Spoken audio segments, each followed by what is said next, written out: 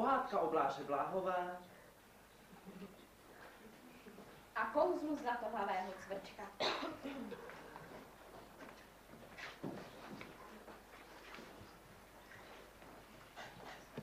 Bláža Bláhová rostla a hledala štěstí.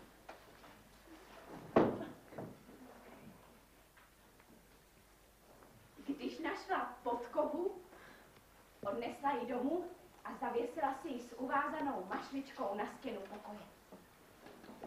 Jestli se jí zdálo o cibuli, věděla, že na druhý den najde stříbrnou lžičku. Jestli sněla o rybách, věděla, že na zítří potká cizince, který ji osloví křestním jménem. Rostla a píděla se po šťastné náhodě. Bylo jí 16, byla děvče jako lusk, sukínky měla až po kotníky. Když tu se stalo něco zvláštního.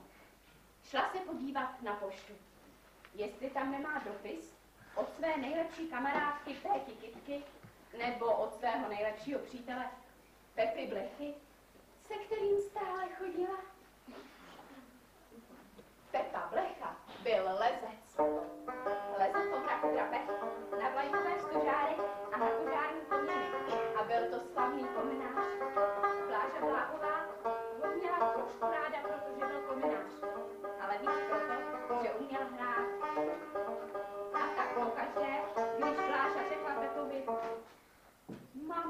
Hlavě, hrej a zažeň mi je.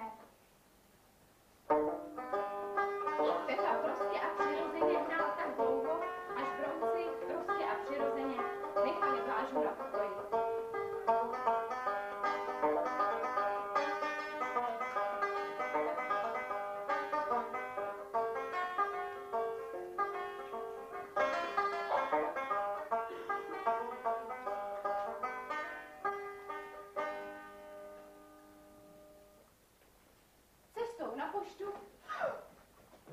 našla Bláža zlatohlavého cvrčka z zelenkavé dolarové barvy.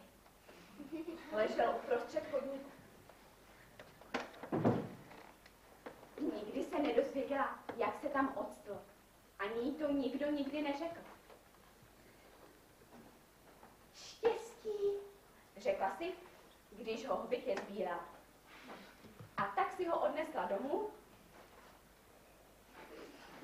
ho na řetízek a nosila ho na krku.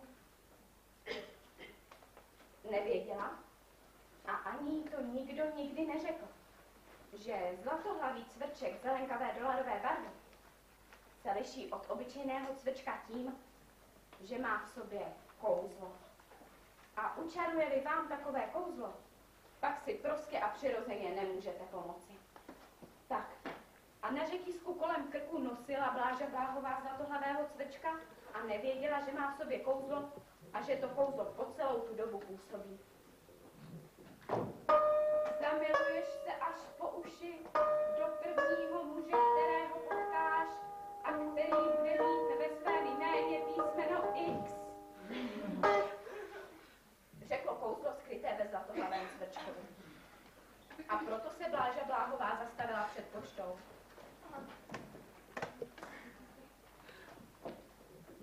ještě se vrátila a ptala se úředníka u poštovní přepážky, jestli je si opravdu jist, že tam není pro ní žádný dopis.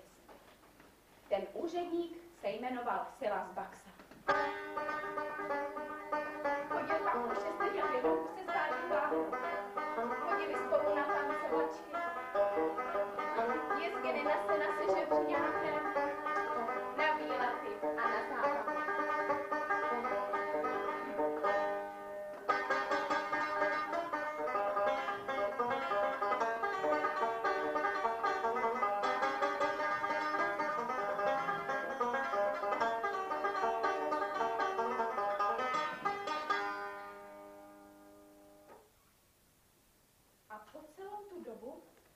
Samozřejmě působil zlatohlavý cvrček zelenkavé dolarové barvy, kterého měla na řetisku kolem krku. Říká,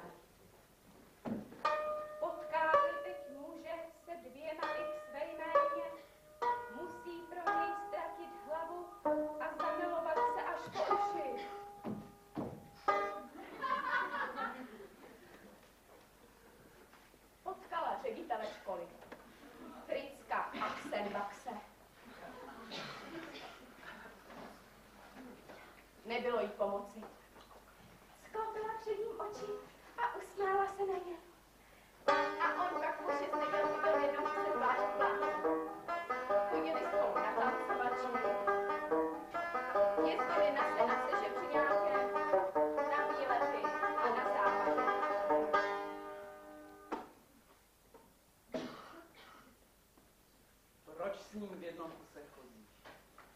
Dohoubali příbuzní. Má v sobě kouzlo, odpovídala jim Bláža. Nemohu si pomoci, jsem jak očarovaná. Jednu nohu má větší než druhou.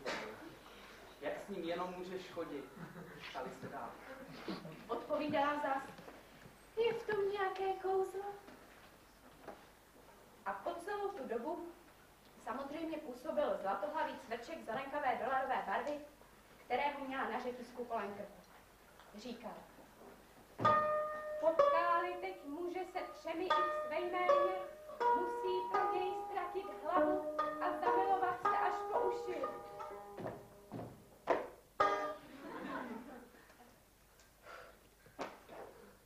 Pak potkala jednoho dne u muziky na návsi Jakuba Six Big Stickse. Nebylo jí pomoci. Sklopila před ním oči a usmála se na něj.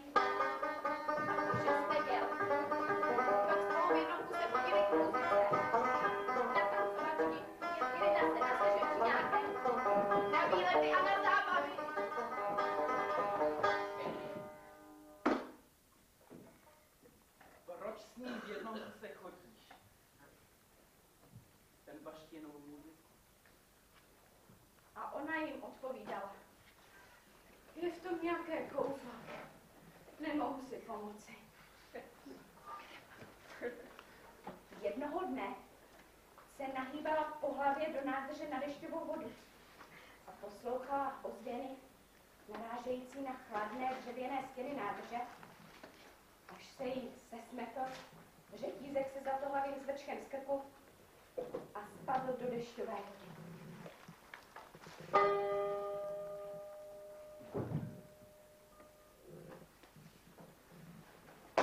Štěstí je fuč, řekla si Bláža.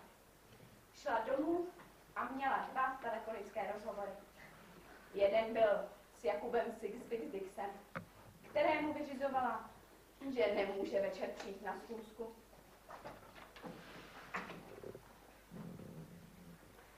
Druhý byl s Pepou Blechou, lescem a kominářem. Přijď k nám. Mám za zbrouky v hlavě a chci, aby si je zahnal svým hraním. Telefonovala Pepovi Blechovi.